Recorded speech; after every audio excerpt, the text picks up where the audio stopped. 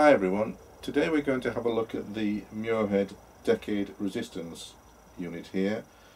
Muirhead made a number of these uh, Decade Resistance boxes during the 50s and 60s and this particular unit is a, a three channel Decade Resistance box covering hundreds, tens and units of ohms. The company Muirhead was founded way back in 1904 and specialised in telecommunications equipment and in fact uh, most of the precision uh, test uh, equipment that they manufactured were related to the telecommunications side of their business. In the uh, beginning of the 1960s they started producing some precision uh, test instruments including things like this um, decade resistance box. They also produce decade capacitive boxes as well and number, a number of other, other pieces of uh, test equipment. So let's have a look at this uh, resistance box and just see uh, how accurate it is today some 70 years after it was originally made and uh, we'll also have a look inside and just see how the parts have been put together and what how the, how the unit itself is manufactured. Okay, well, as the, the unit is now over 70 years old and has probably not been in use for some time, I'm going to take it apart, let you have a look inside, and then give some of the contacts a clean, and once we've done that, put it back together again, and then we'll give it a test. So let's take the unit apart. There's um, several screws at the top of the decade box the casing itself is a metal case but the front panel looks like it's a black Bakelite. Also the large uh, switch controls here are also made of black Bakelite.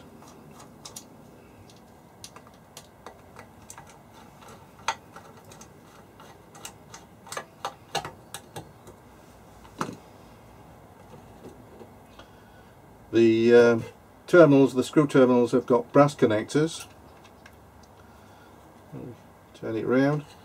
There you can see inside the unit. I'll just remove the, that's the, uh, the casing, it's just a, a, a simple metal casing. The unit is made up of uh, three switch mechanisms. As you can see here, they're quite heavy duty switches uh, very, very well made.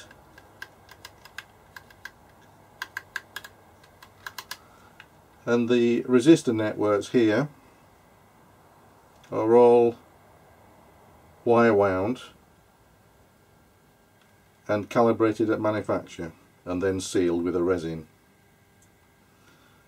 The main connecting lead from the terminals is very very thick as you can see here.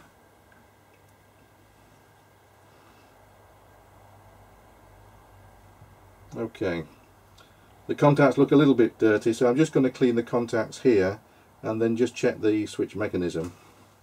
To do that I'm going to use some isopropyl alcohol and uh, this is ideal for cleaning switches. It doesn't leave any grease film afterwards when it evaporates.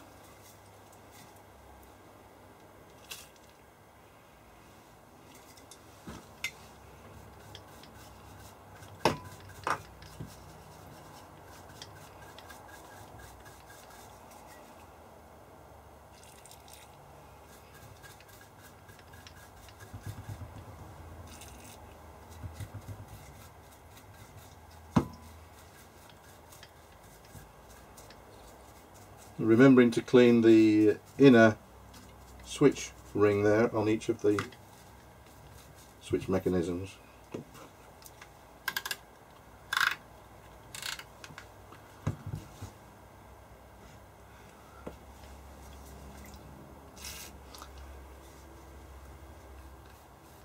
So I'm just brushing some isopropyl alcohol on the switch contacts.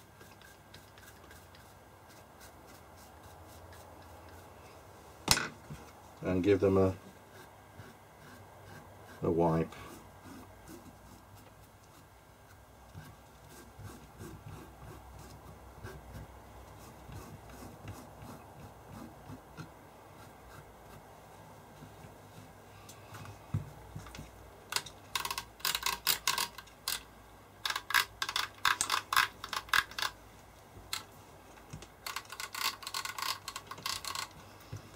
Okay, they look much better.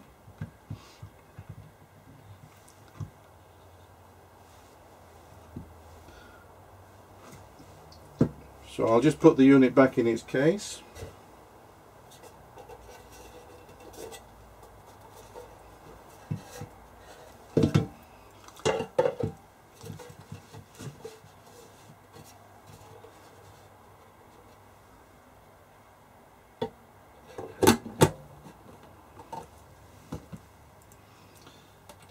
And for the moment I'll just put two screws in just to hold it in place while we just uh, give it a test.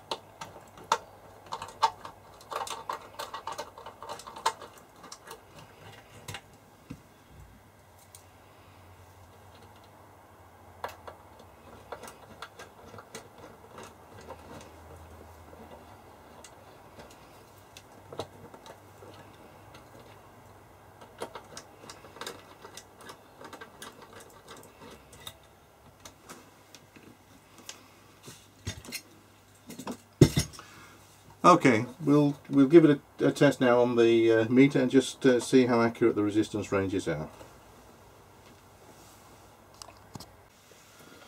Okay, I have the uh, the unit now connected to the uh, Keithley 2000 multimeter, and uh, I have it on the uh, ohms range.